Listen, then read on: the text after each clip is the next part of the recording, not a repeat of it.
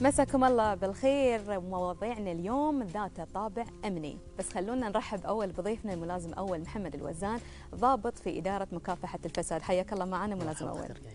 طبعا إحنا سعيدين بوجودك معنا واليوم طبعا إحنا حابين نتكلم أكثر حول مبادرات وزارة الداخلية في مكافحة الفساد. وفي تقرير راح نشوفه ولكن يعني بودي قبل ما نطلع حق دي التقرير بس خلينا نعرف شنو أنواع أو أشكال الفساد اللي الإدارة متخصصة بمكافحتها.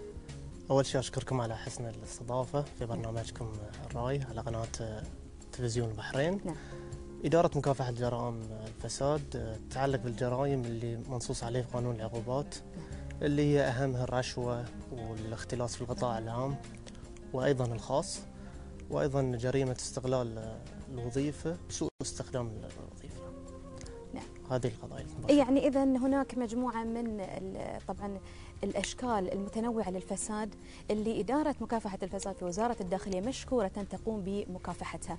وطبعا مشاهدينا اهتمام وزارة الداخلية بكافة القضايا اللي تهم الفساد تبدأ من خلال استقبالها لشكاوي واقتراحات الناس واستفساراتهم من قبل الإدارة. مثل ما ذكرنا باعتبار أن الفساد جريمة خطيرة وظاهرة اجتماعية وسياسية واقتصادية معقدة وتأثر على جميع البلدان.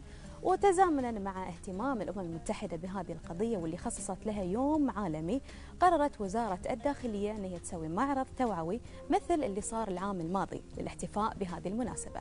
واليوم تم تدشين معرض اليوم العالمي لمكافحة الفساد في مجمع السيف تحت رعاية وزارة الداخلية. بنشوف مع بعض هذه التقرير عن المعرض وبنرجع مرة ثانية مع ضيفنا في الاستديو.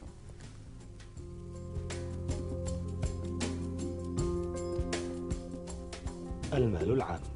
هو المال الذي يضمن توفير كل احتياجات المواطنين ولكنه الأكثر عرضة للسرقة والاستغلال من قبل الكثيرين وهذا يدعى الفساد المالي. إذا أردنا أن نقضي عليه أولا يجب أن نلاحظ ونراقب. ثانيا قدم ملاحظاتك للخط الوطني الساخن لمكافحة الفساد. ثالثا استخدم وسائل التواصل الاجتماعي لتوعية الآخرين.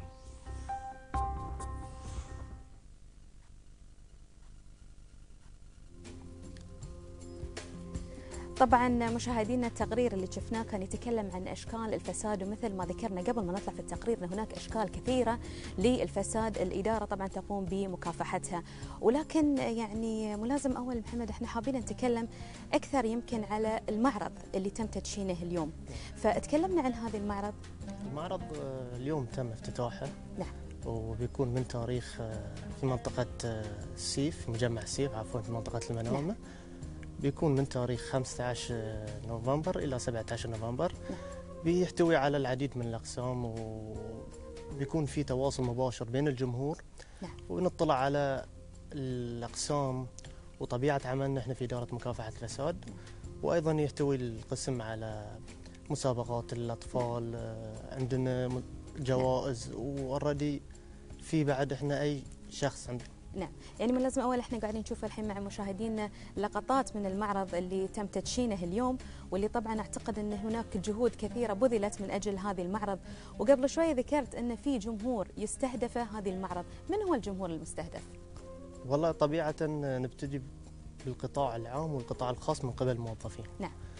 والمواطنين وأيضا آه، الجهة الشباب اللي هم من المدارس والطلبة اللي في الجامعات بعد بنستهدفهم لأن هم الجيل اللي بيطلع من بعدهم صحيح. ونحتاجون هذه النوعية من. التوعية. إي نعم. نعم. إنزين في تفاعل من الجمهور تحسون مع الحملات اللي تقيمونها؟ والله الحمد لله صار لنا تسع من آه، تس 2009 نعم. وإحنا بادين في هالحملة. ولله الحمد في كل سنة في تزايد في عدد الزوار المعارض في التفاعل. أيضا آه، نشوف في التفاعل مو بس في المعرض حتى خارج المعرض وفي جميل. طب شلون يتم قياس هذه النجاح؟ يعني حلو إن إحنا نستشعر ان سنويا في إقبال بزيادة ولكن كيف نقدر إحنا نقيس نجاح فعلا هذه الحملات؟ والله بطبيعة عملنا إحنا في الإدارة ال- يكون أثناء الحملة نعم. وبعد الحملة من خلال الوسائل اللي العلمية اللي هي نشوف شلون آه، مشت ال- الأمور في في الحملة. وأيضا اللي هو الأهم اللي هو بعد الحملة نشوف عدد البلاغات اللي توصلنا وعدد تفاعل الجمهور مع الخط الساخن اللي عندنا اللي هو على ال 992 نعم. فنحصل فيه تفاعل آه، كثير بعد الحملة. هذا هو المقياس حق حملتنا مكافحة الفساد. حلو. طيب آه، ليش يعني إحنا من المهم إن إحنا نحتفل في مثل هذه اليوم اليوم العالمي لمكافحة الفساد؟ أهمية الاحتفال فيه. طبعا توجيهات آه، من سيدي معالي الفريق الركن الشيخ راشد بن عبد الله الخليفة وزير الداخلية. اللي هو صب جهد اهتمامه في الإدارة العامة لمكافحة الفساد والأمن الاقتصادي والإلكتروني وبتوجيهاته أيضا آه، بالخطة الوطنية لمكافحة الفساد. طبعا البحرين موقعة مع الأمم المتحدة في اتفاقية مكافحة الفساد اللي هي من ضمنها إن إحنا ننشر آه، الوعي ونرفع من آه، من ناحية مكافحة الفساد. وهذا اللي خلونا إن إحنا كل سنويا نقيم حفل حملة حملة توعوية نعم. بنكون مشاركين إحنا المجتمع البحريني والدولي لأنه هو يصادف يوم عالمي تقريبا لمكافحه الفساد في تاريخ 9 ديسمبر. حلو.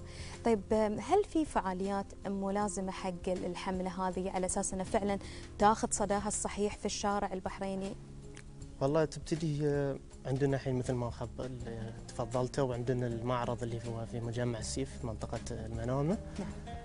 اللي فيه يشمل المعرض التوعية. عندنا العديد من المحاضرات بالتعاون مع الانتربول وعندنا بعد مع هيئة البحرين السياحة والمعارض.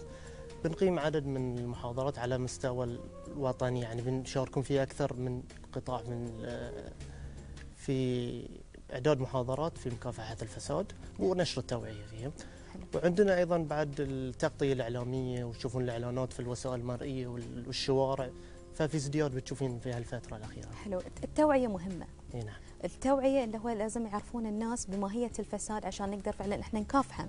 فمعناته أن وزارة الداخلية عليها مسؤولية كبيرة في أن هي سنويا تطور حتى من طرق التوعية اللي تقدمها للمواطنين. نعم. فهذا الشيء فعلا إحنا قاعدين نلاحظه سنويا فشو الجديد اللي وزارة الداخلية سوته هذه السنة في توعية الناس حول مكافحة الفساد؟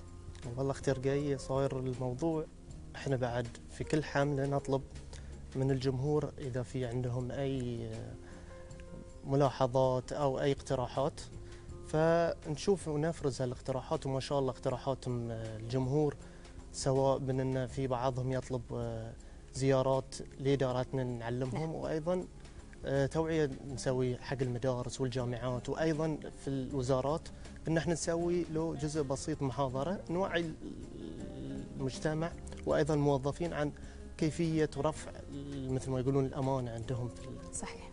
جميل. طيب آه يعني من خلال دردشتنا قبل شوية ذكرت لي أن واحدة من الطرق اللي ممكن من خلالها تقيسون نجاح فعالية الحملات اللي تقيمونها الخط الساخن. نعم. تكلمنا أكثر عن الخط الساخن؟ الخط الساخن آه، اللي هو رقمه 992 نعم. إحنا نقدر نتلقى أي بلاغ عن أي معلومة تتعلق عن الفساد سواء في القطاع العام أو في القطاع الخاص وتكون بشكل سري للغاية مثل شنو؟ مثل شنو نوعية يعني البلاغات مثلا؟ يعني تينا إحنا بلاغات عن سواء فساد إداري ولا سواء فساد مالي نعم. أي تكون المعلومة لو بسيطة لا يستاهل فيه المواطن أو الموظف إحنا عندنا إجراءات نمشي عليها لما نتحقق من المعلومة من صحتها من عدمها. نعم. ففي بعضهم اللي هو خايف أو انه هو يشوف روحه انه هو نعم. بيمر بال نعم بالضبط فمثل ما نشوف مع مشاهدينا رقم الخط الساخن مثل ما ذكرنا 992 اثنين نعم. صحيح؟ نعم. ونكرر على أهمية أن هم لازم مثل ما ذكرت ما يستهينون بأي نوع من البلاغات بس خلينا نعرف شنو الإجراءات المتخذة يعني أنا الحين مثلا ورد اتصال إلى الإدارة ان في مثلا خلينا نقول بلاغ بخصوص قضية معينة أو مثلا خلينا نقول شكوى معينة، كيف يتم التعامل معها؟ الإجراءات اللي تتبعونها؟ طبعا أول ما نستلم البلاغ نعم. نتحقق من جميع المعلومات سواء من عندنا بالإجراءات القانونية أو ساعات بالتعاون مع الجهة نفسها نعم. سواء في الوزارة أو في أي قطاع أو أي هيئة ففي كل مثل ما يقولون معلومة لها كذا طريقة شلون توصل مدى صحتها في بعض الطرق تكون سلس وفي بعضها شوية يبي لها شغل مثل ما يقولون نعم. لكن إن شاء الله في الخيرة في المواطن اللي يتصل واللي قيرته على البلد نعم. آه نحن نقول له انه لا يخاف ولا يحاتي وصل المعلومة وبدور نحن مكافحة الفساد نقوم بواجبنا المحترم. بالضبط، يعني هذه رسالة نبي نوجهها أن لا تخاف عزيز المواطن ولا يكون عندك شك في أن وزارة الداخلية وإدارة مكافحة الفساد راح تأخذ هذا الموضوع بعين الاعتبار وبكل الجدية على أساس أنهم يقدرون يحلون الموضوع. بس يعني أنت ذكرت أن الإجراءات طبعا بتكون متنوعة ومختلفة على حسب نوع الشكوى. تقريبا مدة اتخاذ الإجراءات أو مدة حل الشكوى هذه أو خلينا نقول مثلا المشكلة اللي واردة لكم. تقريبا أقصى مثلا وقت ممكن. عشان ما يحس المواطن أنه أنا اشتكيت أو مثلا رفعت شكوى وما تم التواصل معي.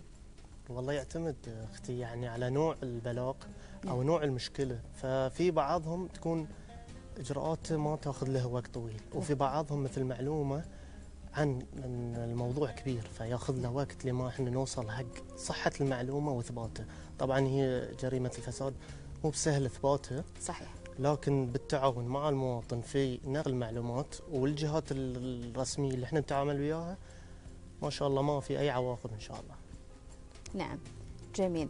فوهذا الخط الساخن طبعا هل هو بيكون متاح على مدار الساعة؟ طبعا الخط الساخن في اللي هو 992 خط نزوها نعم. 24 ساعة جميل. وفي كذا لغة مو بشرط بس بالعربي حتى الأجنبي أو المقيم اللي عنده معلومة يقدر يتصل على الخط نعم. ويبلغ بأي معلومة بأي لغة هو عنده سواء الإنجليزية سواء حتى اللغات اللي مثل ما يقولون اللي في المجتمع البحريني. صحيح يعني هذه مبادرة طبعا تشكر عليها وزارة الداخلية وفعلا تبين إن مكافحة الفساد ليس المقصود فيها فقط اللي هو فيما يختص البحريني أو المواطن وإنما لجميع المقيمين حفاظا عشان نقول في النهاية على الأمن العام في مملكة صح. البحرين. نعم. يعني أنا ختاما في في هاي طبعا اللقاء يمكن حاولنا إن إحنا شوية نغطي آه، مواضيع تخص طبعا آه، اليوم العالمي لمكافحة الفساد ومبادرتكم الطيبه في توعية المواطنين، لكن هل من رسالة ممكن نوجهها للمواطنين تشجيع حث على أنهم فعلا يتعاونون معاكم في هذا المجال؟ ويلا إحنا أكثر شيء يخرع المواطن أو إنه يخليه يتردد إنه يبلغ على موضوع الفساد اللي نعم. هو الإجراءات القانونية اللي تتبع بعد البلاغ. صحيح. هذه أكثر شيء يفكرون فيه المواطن.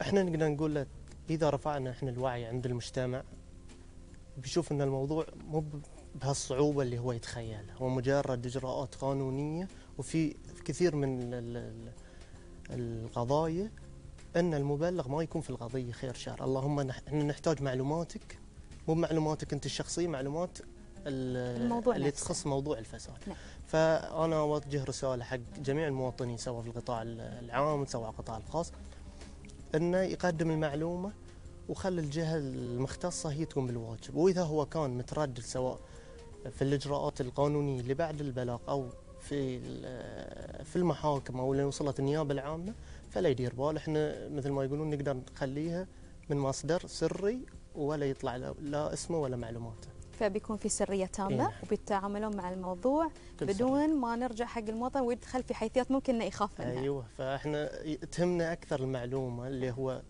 قد ما وصلت لنا معلومات أكثر كل ما خف الفساد عندنا وصار في خوف لدى الشخص اللي بيرتكب جرائم. حلو. فطبعا أنا أرد أشكر طبعا هذه المبادرات لأن فعلا نفس ما نقول إحنا نقول إن دائما مملكة البحرين مملكة الأمن والأمان. وهذه المبادرات كلها اللي جعلها تكون فعلا هي أمن وأمان لجميع المقيمين فيها. بس أنا ودي أرجع مرة ثانية بمعلومة لأن أعتقد إن هي تفيد المشاهدين كلهم.